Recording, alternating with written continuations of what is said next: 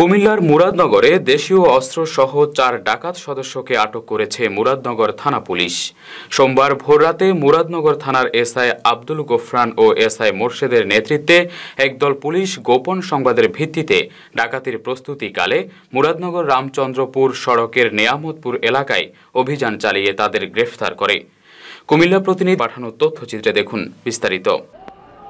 কুমিল্লার মুরাদনগরে বাইশে ফেব্রুয়ারি উপজেলার পান্নারপুল বাখরাবাদ সড়কের সুসুন্ডা এলাকা থেকে ডাকাতির প্রস্তুতিকালে দেশীয় অস্ত্রসহ এক ডাকাত সদস্যকে আটকের পর এবার মুরাদনগর রামচন্দ্রপুর সড়কের নিয়ামতপুর এলাকা থেকে ডাকাতির প্রস্তুতিকালে দেশীয় অস্ত্র ও টাটা পিকআপ সহ চারজন ডাকাত দলের সদস্যকে আটক করেছে মুরাদপুর থানা পুলিশ। আটককৃত ডাকাত দলের সদস্যরা উপজেলার আমিননগর গ্রামের সুবেদ আলীর ছেলে বাদশা মিয়া পার্শ্ববর্তী চান্দি চান্দিনা উপজেলার কুটুমপুর গ্রামের আব্দুল মালিকের ছেলে ইউসুফ মিয়া, হোমনা উপজেলার দুর্গাপুর গ্রামের ইদ্রিস মিয়ার ছেলে আল আমিন ও একই গ্রামের সাগর বাদশার ছেলে রিপন মিয়া।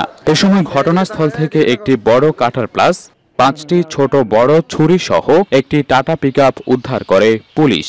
এ ব্যাপারে মুরাদনগর থানার পুলিশ পরিদর্শক নাহিদ আহমেদ বলেন, ডাকাতির প্রস্তুতির ঘটনায় থানায় মামলা হয়েছে। আটককৃত ডাকাত সদস্যদের সোমবার দুপুরে বিজ্ঞ আদালতের মাধ্যমে জেল হাজতে প্রেরণ করা হয়েছে। অন্য আসামিদের গ্রেফতারে অভিযান অব্যাহত আছে।